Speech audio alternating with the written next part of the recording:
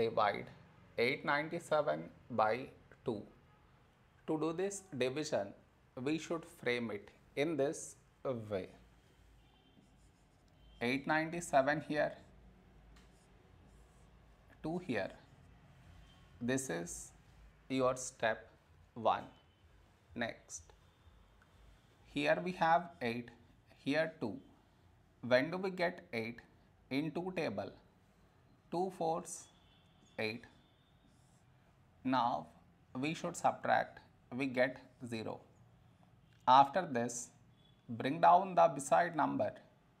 So 9 down, so 9. A number close to 9 in 2 table is 2 fours 8. Now we subtract, we get 1. After this, bring down the beside number.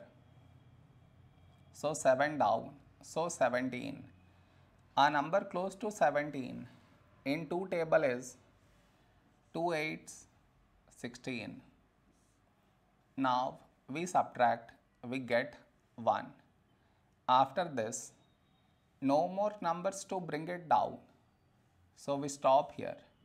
This is our remainder, this is our quotient.